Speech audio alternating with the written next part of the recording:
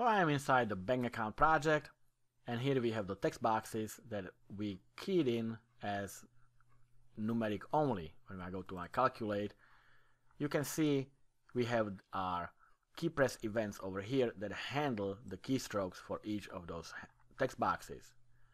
But now we can replace these with the custom text box we just created and eliminate these key press events.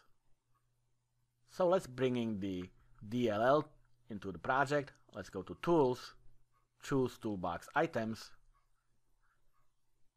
and Browse, and let's bring in the numeric text box.dll.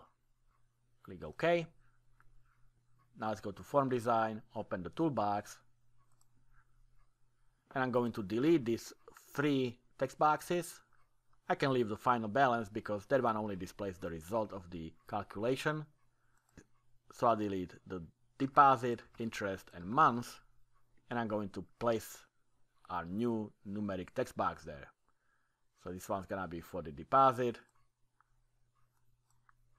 This one's gonna be for the interest. And one more for the number of months. Now I have to name them, so I'll select one and go to properties and I'm going to name it. Currently it says numeric text box 1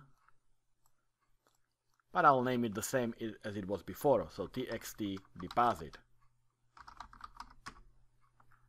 So that way we don't have to change anything in the code when I name it the same. So the next one is going to be txt interest, and the third one is going to be number of months. So this one was txt num month.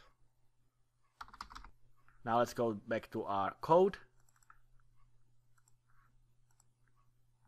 We don't have any errors. That means we named the text boxes correctly. Everything is referring to the same text boxes as before. But now I can delete all these key press events. So we have three of them and I'm going to delete them. So that reduces the code significantly. Now remember text boxes has those two properties for Hexadecimal and allowing for the negative numbers as well so in our case we may choose not to allow negative numbers, we don't want negative deposits or negative interest or negative number of months. So I'm going to leave that property as false, which is by default, as negative is false by default. And we want to allow decimal numbers on the deposit as well as the interest, but not for the number of months. We only want the integer there. So monthly deposit stays the same, as decimal is true, so does the interest, but for the number of months, I'm going to set it to false. And that's all the changes we need to do here. So let's run this. And I'm going to deposit, let's say, $100.50. And you can see it allowed me to enter the decimal point, but not another decimal point. Let's say 2.5 will be the interest. And I'm trying to enter another decimal or negative but it's not allowing me correctly as because that's how we have it set. A number of months, it doesn't allow negative, and I'm trying to enter decimal point, but it's not allowing it either. So our text boxes are working correctly. Let's click calculate, and here is our final balance. So we upgraded the bank account application by using custom text boxes and reduced the code significantly. Instead of using a key press event for each of those text boxes, we now simply set the properties in our properties windows.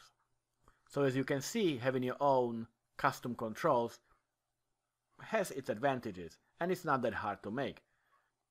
We simply inherit all the properties and uh, functionality from already existing controls and we add to them as we need or override what we need to override. So I hope this was interesting exercise for you, that you learned something new, and I will see you in the next video.